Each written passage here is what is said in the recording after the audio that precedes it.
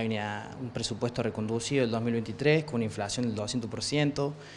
y eso a los estudiantes nos compromete la vida estudiantil, eh, la permanencia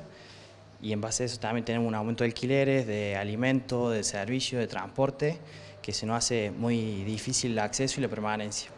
Y a nivel eh, universidad eh, se trajo una propuesta hoy del Consejo Superior, que de hecho es un Consejo Superior extraordinario eh, y en el cual se está debatiendo la apertura y el precio del menú. En esto de la apertura vale aclarar que debería haber comenzado las actividades en, febrero, con, el comienzo de las actividades de toda la universidad, el cual todavía no se abrió. Y bueno, y debatir un precio que, que estaba capaz muy atrasado pero llevarlo a unos costos de propuesta que fue de 1.365 pesos, eh, creo que no es tan accesible. Entendemos la, posición de la gestión, que es insostenible, eh, seguir gestionando con una inflación del 211% del año pasado acumulada y un 20% en el mes de enero, eh, con esta nueva gestión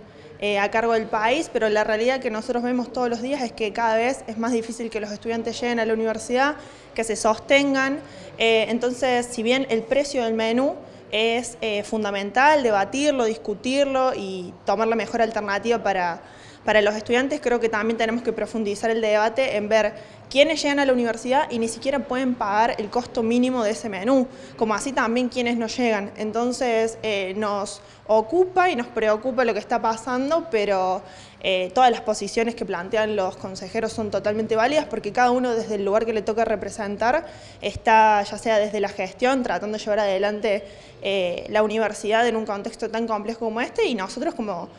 claustro estudiantil también queremos garantizar el sostenimiento de los estudiantes, así que es un, poco, un poco de cada lado las posturas que estamos teniendo. ¿no? Hemos presentado hace unas semanas más o menos una nota a rectorado para pedirle la apertura urgente del comedor universitario, siendo que desde el 5 de febrero, el 1 de febrero la universidad abrió sus puertas para todo el cuerpo docente y no docente y el 5 de febrero se iniciaron las actividades universitarias. Estudiantes que eh, vienen a ingresar a este, campus, estudiantes que vienen a preparar finales, estudiantes que vienen a acompañar estos ingresos. Entonces, eh, hace una semana pedimos a la rectora que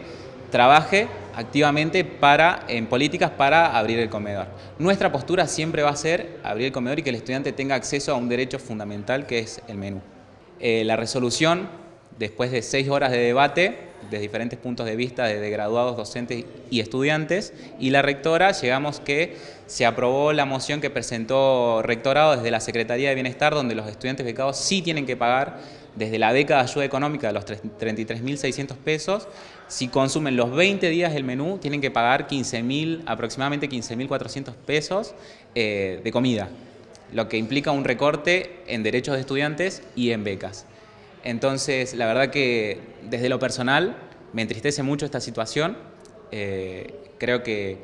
era necesario tomar políticas y por lo menos cuidar ese, ese cuerpo y ese pedacito del claustro estudiantil en general